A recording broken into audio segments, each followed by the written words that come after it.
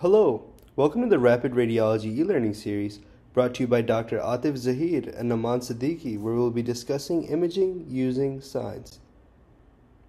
Today's sign is the dromedary hump sign, which is associated with the following appearance on a kidney ultrasound.